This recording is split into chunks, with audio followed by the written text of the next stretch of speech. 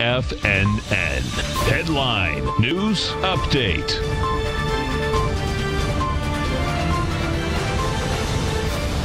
Welcome, folks. We have the uh, Dow Industrials down 240, Nasdaq off 80, S&P's off 26, gold contract up $23, trading at 15.51 an ounce. You have silver up 12 cents, $18.16 an ounce. Light sweet crude up 227, $63.47 a barrel. Notes and bonds. You get the 10-year note up 19 ticks, 129.05. The 30 year up a full point plus four ticks at 157.24. Now, notes and bonds, folks. Bottom line, last week what they did, they tested the lows, had lighter volume, rejected the lows, start going higher yesterday with volume. They have volume today. They continue to want higher price, lower yield.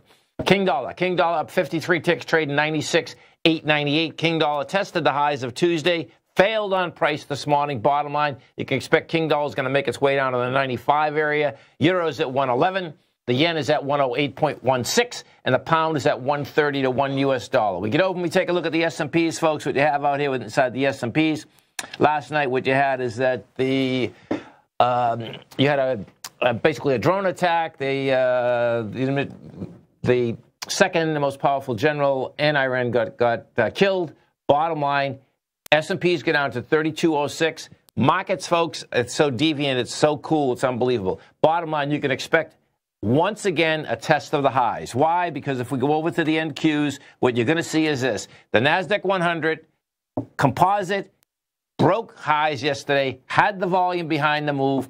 Bottom line, that says it's going to get tested again, and I expect the deviance is just about as cool as you can get because don't, um, you know, you could very well get this high tested today, okay, which would be Market, this market is shaking everything off. That being said, the bottom line, how it tested is going to say everything. Why? Because these notes and bonds, they've been saying for a long period of time, they continue to want higher price, lower yield. They're moving with conviction today, which is wide price spread, accelerated volume. Bottom line, they want higher price. We go into King Dollar. King Dollar is just the opposite. King Dollar had broken its uptrend last week as well as last month. What King Dollar did out here today, got into the highs of Tuesday, gave it up, gave it up at the price point of 96, 103.